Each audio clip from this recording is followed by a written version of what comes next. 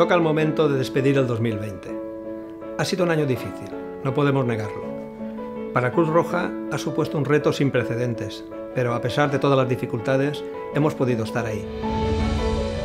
El distanciamiento físico ha sido necesario, pero esta situación no nos ha impedido estar cerca de las personas, acompañando, ayudando, apoyando, escuchando, empatizando, tan lejos pero a la vez tan cerca.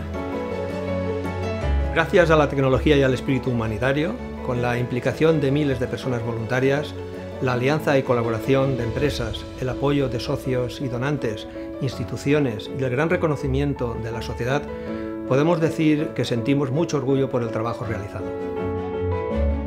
Un trabajo en el que se han volcado todas y cada una de las asambleas locales de Cruz Roja, haciéndole frente al miedo, combatiendo la soledad, contribuyendo a mejorar las cosas.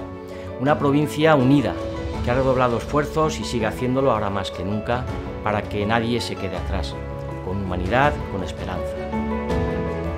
Y ahora que acaba el año, os damos las gracias por el impulso, por el aplauso, por la solidaridad.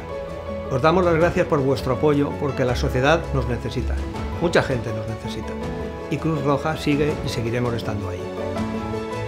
Nuestros mejores deseos para que el año 2021 sea un año mucho mejor para todas las personas.